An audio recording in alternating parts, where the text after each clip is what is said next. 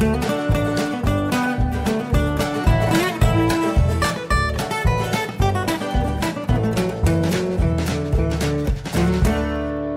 und herzlich willkommen zu Jörn Schars feinem Podcast Episode 303. Ich bin Jörn Schaar und ihr seid es nicht. Was soll ich sagen?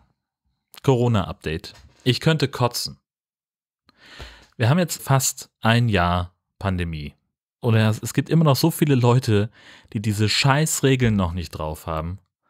Mit Masken, mit Abständen, mit Einbahnstraßenregelungen. Ich hab, war neulich in der Tankstelle und vor mir stand jemand, ich weiß nicht, der hat so Kram gekauft und Tanken bezahlt, bla bla bla.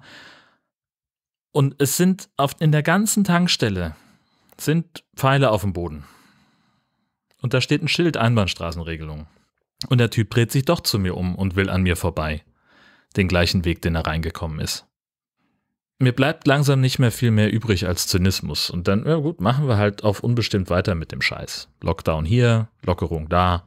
Selbstisolation. Warum denn nicht? Kein Problem. Das Schöne ist, ich kann noch nicht mal Carbonara kochen, weil meine Specklogistik im Arsch ist. Rewe, ich hatte ja bei, bei im Rewe Online-Shop äh, Juancale bestellt, hatte erzählt in Folge 295 davon. Super geil, genau die richtige Portionsgröße, kommt irgendwie, du musst halt, musstest ein paar Tage im Voraus bestellen und dann kam das halt per Express über Nacht äh, circa sechs Tage später an. Ja, also sechs Tage Vorlauf, um die, die Bestellung fertig zu machen und dann wird es per Express verschickt. Hat super funktioniert. Rock'n'Roll gibt's nicht mehr. So, das heißt, ich habe keine Möglichkeit mehr, eine fertig portionierte Menge von diesem supergeilen Carbonara-Speck zu bestellen und muss jetzt auf irgendwelche windigen Händler zurückgreifen. Ich habe ehrlich gesagt noch nicht mal irgendjemanden gefunden, wo ich jetzt das Gefühl habe, das könnte funktionieren.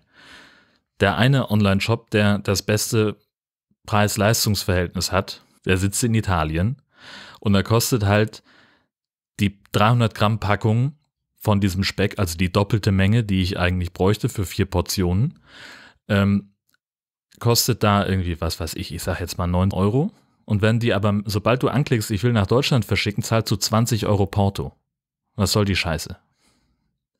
Dann habe ich jetzt noch irgendeinen, der hat nichts unter 650 Gramm. Auch in Ordnung. Kein Problem. Würde ich ja machen. Da funktioniert der Shop überhaupt nicht. Du klickst irgendwie, leg das in den Warenkorb und es passiert nichts. Irre. Das heißt, jetzt könnte ich überlegen, ich bestelle das bei Amazon. Da gibt es das nicht unter einem Kilo.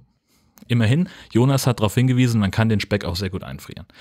Das heißt, ich werde demnächst eine Bestellung aufgeben und dann haben wir halt circa 900 Gramm gefrorenen Speck in der Truhe. Was soll schon schief gehen? Vielleicht finde ich ja aber auch jemanden für eine, äh, also sowas wie ein Lesezirkel nur mit Speck. Keine Ahnung. Unabhängig davon, ähm, also, ne, rewe.de, ich finde euch doof dafür, dass ihr den Speck ausgelistet habt. Und die Herzdame besteht darauf, dass ich erwähne, dass sie gesagt hat, dass ich meinen Speck auch mal auslisten könnte. Herrje. So. Gut, genug rumgeflucht. Ich habe diese Woche nicht allzu viel Neues zu berichten, außer dass ich ein neues Spiel angespielt habe, das es bei Epic äh, für kostenlos gab, Jurassic World Evolution. Zumindest die Basisversion, da gibt es dann auch verschiedene Erweiterungen. Ja, ist halt auch wieder so ein Aufbaustrategiespiel, die mag ich grundsätzlich, äh, das gefällt mir ganz gut.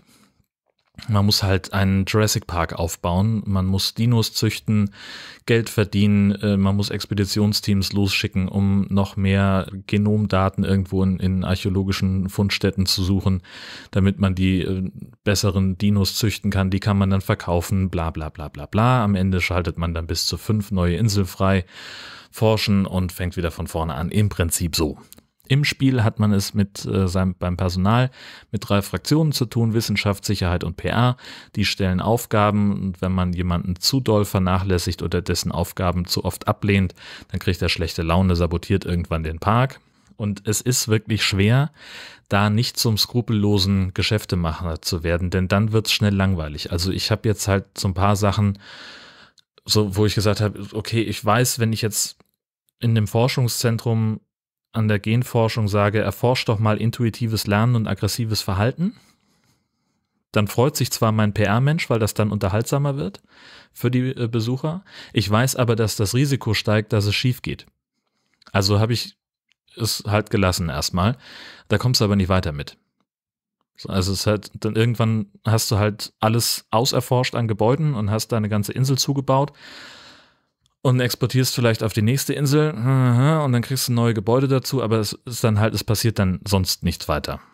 Und da gibt's dann halt irgendwie vom Security Heini äh, die Anforderung, ja, lass doch mal, mach doch mal ein Tor auf und guck mal, was passiert, wenn einer der Dinos den äh, dann die Besucher angreift, damit wir unsere gucken, ob wir äh, unsere Abläufe äh, ordentlich hinbekommen.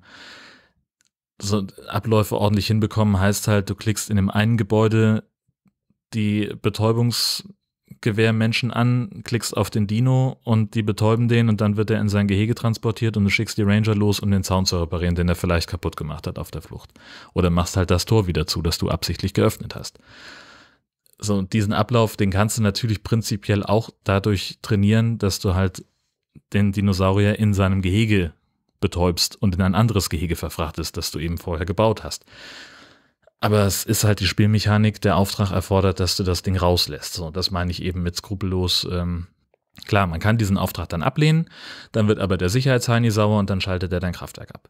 Zum Beispiel schicke Grafik, äh, die Dinos sind gut animiert, wenn man einen neu gezüchtet hat und aus dem Forschungslabor rauslässt, dann ist das auch ist ein schönes Video, äh, nettes Gimmick, man kann auch den Jeep der Ranger selber steuern oder selber mit dem Hubschrauber fliegen. Es gibt auch Aufgaben, wo das notwendig ist, also man muss dann irgendwie, weiß ich nicht, äh, ein Foto machen von äh, irgendeinem Dinosaurier, der gerade trinkt und dieses Foto kann man dann verkaufen. Und was weiß ich, wenn man mehrere Arten von Dinosauriern auf dem Bild hat, dann wird das Foto auf einmal mehr wert und dann kann man das noch besser verkaufen, bla bla bla. So. Das ist alles ganz nice, das ist alles ganz schick, aber es packt mich dann doch nicht so sehr, wie mich City Skylines gepackt hat. Ähm, aber für, für umsonst, äh, für kostenlos war es dann wirklich mal in Ordnung.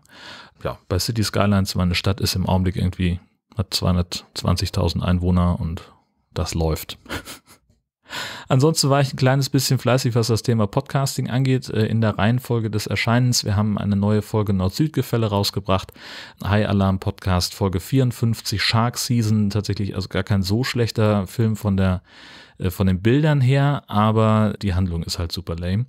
Und äh, das CCP Lagerfeuer 2 von 4 ist auch online. Also wir haben ja im Dezember dazu aufgerufen, dass sich äh, HörerInnen bei uns melden können, die mal mit uns einfach ein bisschen rumhängen wollen an so, einem, an so einer Art Lagerfeuer, ähm, wo wir halt dann sagen, wir unterhalten uns einfach ein bisschen über Camping und Gedöns. Das funktioniert ganz prima. Wir haben jetzt also, wie gesagt, die zweite Episode mit Inga, Peter und Christian rausgehauen am Wochenende und äh, auch da einfach eine Hörempfehlung von meiner Seite. Abgesehen davon bin ich der Meinung, dass Horst Seehofer als Bundesinnenminister zurücktreten sollte. Bis das passiert oder bis hier eine weitere Folge von Jörn Schaas für einen Podcast erscheint, wünsche ich euch eine fantastische Zeit. Tschüssi!